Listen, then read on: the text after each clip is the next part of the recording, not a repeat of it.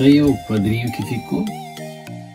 E se gostou do vídeo, se inscreve no canal, que daí vou mostrar passo a passo como é que foi feita a experiência, a montagem do transformador, a solução que foi feita, os cuidados que tem que ser para poder não, dar, não ter risco de explosão, de curto-circuito.